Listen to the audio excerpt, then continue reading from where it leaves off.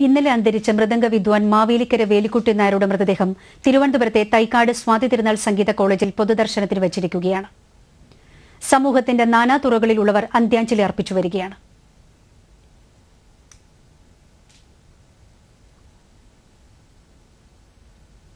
ഉച്ചതിരിഞ്ഞ തൈക്കാട് ശാന്തി കവാടത്തിൽ മൃതദേഹം സംസ്കരിക്കും.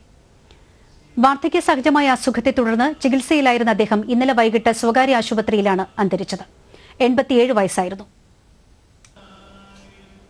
മുഖ്യമന്ത്രി ശ്രീ ഉമ്മൻചാണ്ടി മന്ത്രിമാർ കലാ സാംസ്കാരിക രംഗത്തെ പ്രമുഖർ തുടങ്ങി ഒട്ടേറെ പേർ ഇന്നലെ ആദരാഞ്ജലികൾ അർപ്പിച്ചിരുന്നു.